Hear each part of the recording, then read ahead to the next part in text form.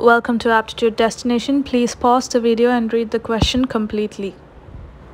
A cuboid is of dimensions 7 by 5 by 3 centimeters. It is said that 7 by 5 faces are painted with red, 5 by 3 faces are painted with green and 7 by 3 faces are painted with blue, which means the opposite colors are similar. Now the cuboid is cut into equal cubes of side 1 centimeter. So the cuboid will be cut as follows according to the dimensions given. The first statement says that there are exactly 15 cubes without any paint on any face. Now we know that we have to avoid all the cubes that are exposed outside. Calculating this front face, we would get 1, 2, 3, 4, 5, 6, 7 and 1, 2, 3, 4, 5.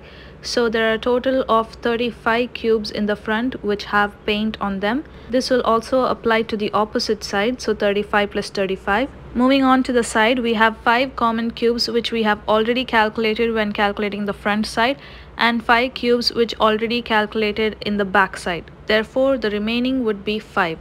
This will also apply to the opposite side as well, so 5 plus 5. Now moving on to the top portion, we have calculated the outline because when calculating the front portion, we calculated this part, while calculating the back portion, we calculated that part, and also these sides have been calculated when we calculated greens. Therefore, the remaining would be 5.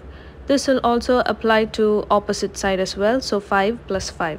So these are the only cubes that have paint on them. So 35 plus 35 plus 5 plus 5 plus 5 plus 5 will give us 90. We know that the volume of a cuboid can be calculated by multiplying length into breadth into height. So in our case, it's 7 into 5 into 3, that is 35 into 3, that equals 105.